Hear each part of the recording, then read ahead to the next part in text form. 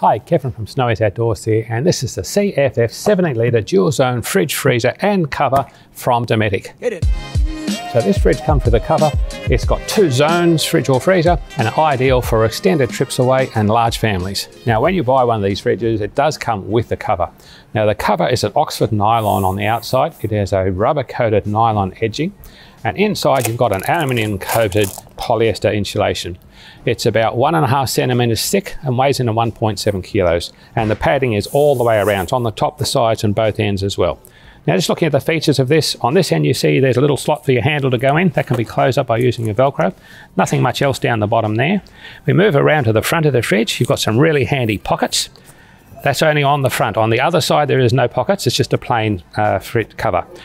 Down here you've got ventilation. That's for the compressor vent. And of course up here you have a clear panel so you can easily see your controls and keep it under control. Another slot here for the handle to go through the cover. Two more vents down here for the compressor and of course there's an opening there for you attaching your power cords. So now I'll show you how to take the cover off. Now you've got some Velcro flaps down on the side at the front and at the back. Same this side here. You've got a Velcro flap at the top as well. Now just remember also that the handles have to be undone. You've got a little Velcro flap there and another one on the other end. You've also got a zipper at the front. No zippers at the back, just at the front. So you've got one down there and we've got another one this end as well. You can see the cover just falls down very easily. We undo the Velcro on this end as well. The whole top of the cover can come off. Now we also do this side as well. And you can see the fridge cover goes all the way off down at the back, so it's very easy to remove. Then you can easily take the fridge off the cover. Now the fridge itself is 26 kilos in weight. It has handle to handle, about 91 centimeters long, 43 centimeters deep, and 50 centimeters high. Now the entire case is a polypropylene casing all the way over the lids and the sides. As you can see down the front here, it's the same sort of material and it's the same on the ends as well. You've got the polypropylene handles with stainless steel screws. Now just looking at the feet of the fridge, there's nothing on the end as you can see. On the side here, nothing significant except for the vents and of course that's the same on the other side as well. Now moving around here, you've got your control panel up here and I'll show you how that works uh, a little bit later. As we move down the fridge, you can see you've got two power outlets here. So there's your 240 volt socket and your 12 volt socket. The fridge comes with two cords. So this is your mains power cord that obviously goes into there. And you've got a 12 volt cord as well, which goes into that socket there. Now this is a cigarette lighter socket.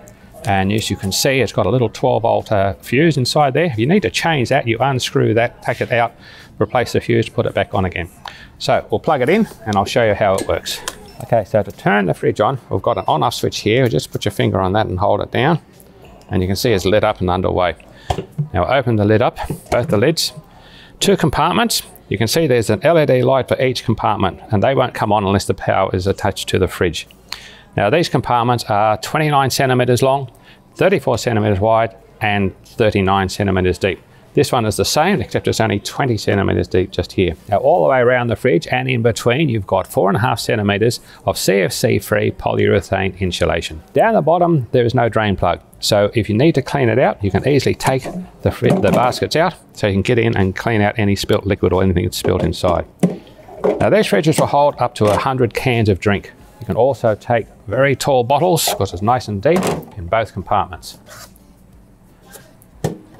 Now look at the, lid, you've got a good rubber seal around the top, you've got a strong catch there, and you've got stainless steel hinges holding the fridge into place. Now these lids can be taken off quite easily, a bit of a bump, and you can see you've got stainless steel hinge there and there.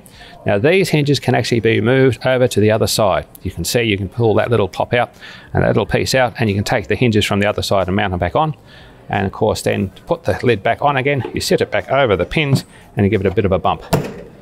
Now, as you can see, there are two readouts for this fridge showing the temperatures for each compartment. This has been the larger compartment, this has been the smaller compartment. Now you can actually turn these off if you wanted to. To do that, you push the set button, you can see the temperature is flashing there. You then touch the power button and you can see it turns off. Now it'll just take a few seconds, it'll go off, and of course the light will go out in that compartment as well. Want to turn it back on again, push the set button, have it flashing, push the power button and it goes back on again. We wait for it to stop flashing so that you've got a temperature reading. And there it is. Now these temperatures are what's currently in each compartment. If you want to change the, temp the temperature, you push the set button, you go over to the plus and minus. You can see I can actually increase the temperature or decrease it depending on what you want. It's got a temperature range between 10 degrees and minus 18. You want to change it to that compartment over there, push the set button again, so that's flashing, same thing. You can increase or decrease the temperature in there depending what you want it to do. Once it stops flashing, it is set at that temperature and it will go down that temperature, but it's still reading what is currently in there. Now you can of course change from Celsius to Fahrenheit. If you press it a couple of times, you can see you've got the Celsius symbol. You can then go to Fahrenheit and back to Celsius if you want to. Press it again, you go to battery protection. That's low, that's the medium battery protection, and that's high battery protection. Now, I just want to explain to you about battery protection. There are three settings, low, medium, and high. Low protection means you'll draw more power out of your battery. High protection means you draw less power out of your battery. Medium is called somewhere in between. Now, depending on the quality of your battery and how much power you want to use, you can alter the setting to suit your needs. If you press the set button again, you've got dimmable lights. So I can actually make it go dim right down to fairly low, or I can bring it back up again. That means when it's at night time and you want to get some sleep, it's not going to have the bright light shining in your eyes. Now, this fridge has a Dometic compressor. It draws about 2.5 amps per hour. It does create a little bit of warm air. I can feel it coming out of the vents there. So make sure that when you do put the uh, fridge in a car or in your wagon, you've got a bit of space around it. So I'll show you how to put the cover back on now. Now just make sure that first of all we turn the fridge off and then we unplug the power from it. So it's better to start from the back of the fridge to put the cover back on. Make sure the ends go on as well. Don't forget to get your handle through that slot first, then velcro that in. Same with this end. Make sure the flaps are out. Give it a nice little tug up there. Make sure it's nice and even. Put your Velcro on there and on the back there. Make sure they're in place. And of course the front you just pull up and there's a zipper each end. Zip that back into place.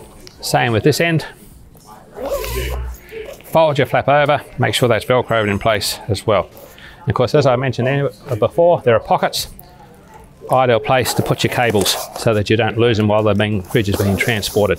So that's all I've got for you on the CFF 70 litre dual zone fridge freezer from Dometic. If you want to get any more information on this product or anything else, go to our website snowys.com.au where we have the lowest prices every day. If you want to subscribe to Snowys, click over here. If you want to watch any more videos, click over here. If you want to ask a question, leave a comment down below.